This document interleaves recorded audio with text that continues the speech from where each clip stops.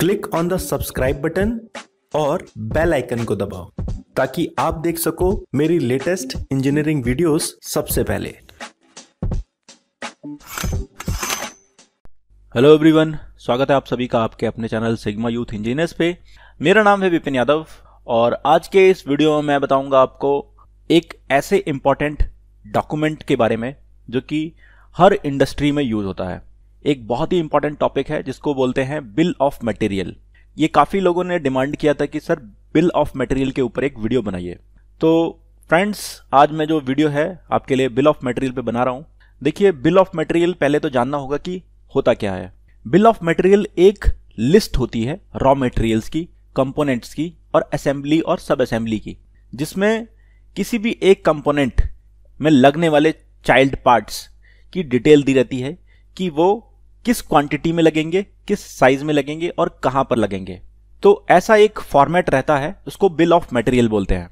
अगर इसकी डेफिनेशन की बात करूँ तो a bill of material is an extensive list of raw materials components and assemblies required to construct manufacture और रिपेयर ए प्रोडक्ट और सर्विस बिल ऑफ़ मटेरियल जो है, किसी भी कंपनी का कोर प्रोसेस डॉक्यूमेंट है और बिना कोर प्रोसेस डॉक्यूमेंट के कोई भी कंपनी जो है, अपना प्रोडक्ट जो है, नहीं लॉन्च करती है।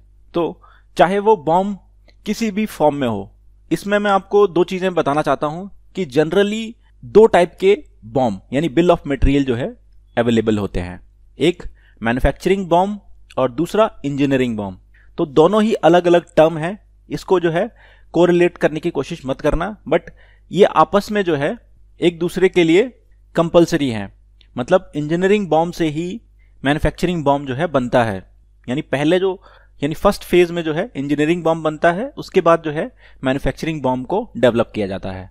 तो यहाँ पर मैं दोनों टाइप के बॉम्ब जो है, वो बता देता हूँ। इंजीनियरिंग बॉम्ब जो होता है, उसमें किसी प्रोडक्ट की डिज़ाइन यानी ड्राइंग होती है, उसकी डायमेंशंस होती हैं, और उसमें लगने वाले जो पार्ट हैं, उनके टाइटल्स दिए रहते हैं पार्ट नंबर दिए रहते हैं, और ड्राइंग नोट्स होते हैं। तो उसको जो है इंजीनियरिंग बॉम्ब कहते हैं।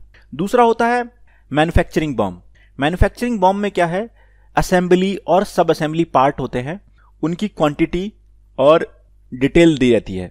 फॉर एग्ज़ाम्पल के लिए, अगर हमें एक कार का इंजन बनाना है तो कार के अंदर जो है डिफरेंट टाइप ऑफ़ पार्ट्स लगेंगे, जिन्हें चाइल्ड पार्ट कह सकते हैं या सब असेंबलीज कह सकते हैं। तो वो सब असेंबली जो है, एक सिंगल बॉम्ब में हमें डिटेल दी रहेगी कि इतने नंबर ऑफ़ पार्ट्स लगेंगे, कितनी पिस्टन्स लगेंगी, कितनी क्रैंकशाफ्ट लगेंगी कनेक्टिंग रॉड्स कितनी लगेंगी। तो ये सारी जो डिटेल रहेगी, वो मैन्युफैक्चरिंग बॉम्ब में डिटेल में रहेगा। और उसका मटेरियल का डिटेल जो रहेगा, वो सब रहेगा। वहीं इंजीनियरिंग बॉम्ब की बात करें तो हर एक सब असेंबली की एक अलग ड्राइंग रहेगी, उसमें कितनी डायमेंशन रहेगी, वो सब चीज़ें जो है इंजीनियरिंग बॉम्ब में स्पेसिफाइड रहेंगी। पहला जो है इनिशियल जिसको बोलते हैं, वो है एम बॉम्ब होता है, दूसरा होता है ई बॉम्ब और तीसरा होता है S BOM manufacturing bill of material में क्या है? पूरा रॉ मटेरियल कौन कौन सा रॉ मटेरियल रहेगा? कौन कौन से आइटम्स रहेंगे? सब आइटम्स रहेंगे असेंबलीज रहेंगी चाइल्ड पार्ट्स रहेंगे, ये सारी डिटेल जो है मैन्युफैक्चरिंग बिल ऑफ़ मटेरियल में रहता है. और इंजीनियरिंग बॉम्ब में पार्ट की डिज़ाइन रहेगी, उसमें लगने वाली जो डायमेंशन है, उसकी डिटेल रहेगी. तो इंजीनियरिंग बॉम्ब होता है, वो एक टेक्निकल डॉक्यूमेंट है, जो कि कंप्यूटर एडेड डिज़ाइन सॉफ्टवेयर से बनाया जा सकता है। वहीं मैन्युफैक्चरिंग बिल ऑफ़ मटेरियल जो है, वो बिज़नेस सॉफ्टवेयर्स जैसे कि E R P M R P ERP की फुल फॉर्म होती है इंटरप्राइज रिसोर्स प्लानिंग एमआरपी की फुल फॉर्म होती है मटेरियल रिक्वायरमेंट प्लानिंग वहीं एमईएस मैन्युफैक्चरिंग एग्जीक्यूशन सिस्टम जैसे सॉफ्टवेयर होते हैं, उनसे जो हम बॉम्ब बनाते हैं, वो हमारा मैन्युफैक्चरिंग बिल ऑफ़ मटेरियल कहलाता है।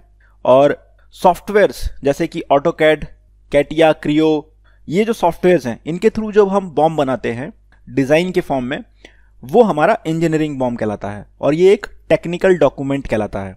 और सेल्स बॉम्ब की बात करें तो सेल्स बॉम्ब जो है, अपनी कैटलॉग्स जो है सेल्स डिपार्टमेंट अपने बनाता है, उसमें जो है पार्ट्स की परफॉर्मेंस क्वालिटीज के बारे में एक्सप्लेन करता है तो वो सेल्स बॉम्ब कहलाता है। तो जनरली दो टाइप के बॉम्ब जो है यूज़ होते हैं इंजीनियरिंग बॉम्ब और मैन्युफैक्चरिंग बॉम्ब तो दोनों ही बॉम्ब मैंने आपको बता दिए हैं। किसी भी कंपोनेंट के बनाने से पहले, उसका बॉम्ब और उसकी रिक्वायरमेंट प्लानिंग करने से पहले, उसका मैन्युफैक्चरिंग बॉम्ब होना ज़रूरी है। तो आई होप ये आपको समझ में आया होगा और ऐसे ही कुछ और इंपॉर्टेंट डॉक्यूमेंट्स हैं जिनको प्रोडक्शन इंजीनियर्स के लिए इंटरव्यू में पूछे जा सकते हैं। अगर आपको हमारा ये वीडियो अच्छा लगा तो इस वीडियो को लाइक करना और शेयर करना ज़्यादा से ज़्यादा जो लोग इंजीनियरिंग फ़ील्ड से जुड़े हुए हैं, उनके साथ तो अभी के लिए बस इतना ही, मिलते हैं अगले वीडियो में। Thanks for watching video